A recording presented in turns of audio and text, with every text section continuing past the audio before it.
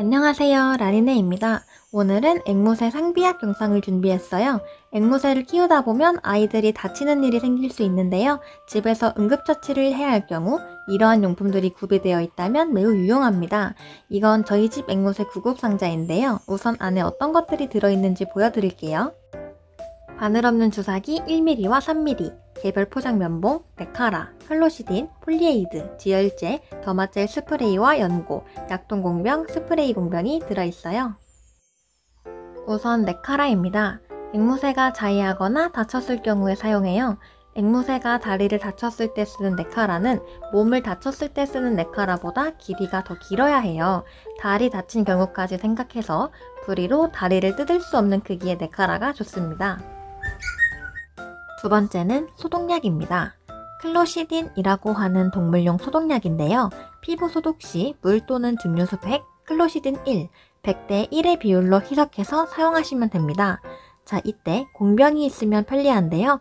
약통 공병에 희석해서 면봉에 묻혀 쓰시거나 스프레이 공병에 희석해서 칙칙 뿌려주시면 편합니다.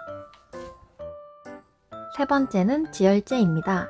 지혈제는 앵무새 발톱이나 발가락에서 피가 날 때 유용하게 사용하실 거예요. 응급시에 지혈제가 없으면 이런 갑오징어뼈 분말도 사용 가능하지만 되도록이면 미리 지혈제를 구비해 두시는 것이 좋습니다. 네 번째는 더마젤입니다. 이 연고는 제가 동백이 자해 때문에 동물병원에 갔을 때 처방받아서 알게 된 연고인데요. 이 더마젤은 반려동물이 상처 입거나 피부가 손상되었을 때 사용해요. 강아지, 고양이뿐만 아니라 설치류, 파충류, 그리고 앵무새 등 모든 동물이 사용 가능한 동물용 의약 외품입니다. 더마젤은 연고랑 스프레이 두 가지가 있는데요. 판매 페이지를 확인해 보니 연고는 내용물을 삼키지 않도록 하라고 되어 있고 스프레이는 핥아 먹어도 안전하다고 되어 있습니다. 그리고 스프레이는 화상 부위의 손상 피부 케어에도 사용 가능하다고 하네요.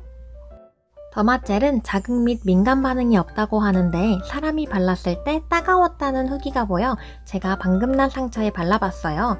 연고를 발랐을 때는 따끔하진 않은데 미세하게 약간 느낌이 나는 것 같은 그런 느낌이었고요.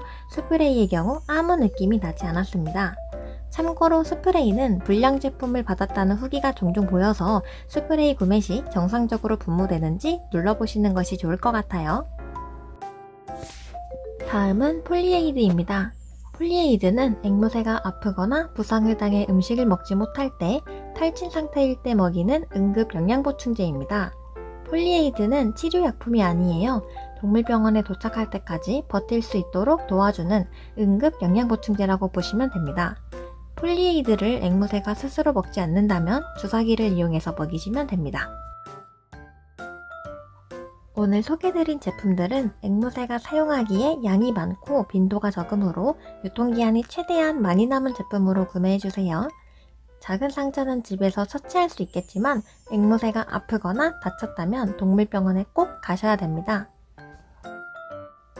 오늘 영상이 도움이 되셨다면 구독과 좋아요, 댓글 부탁드려요. 안녕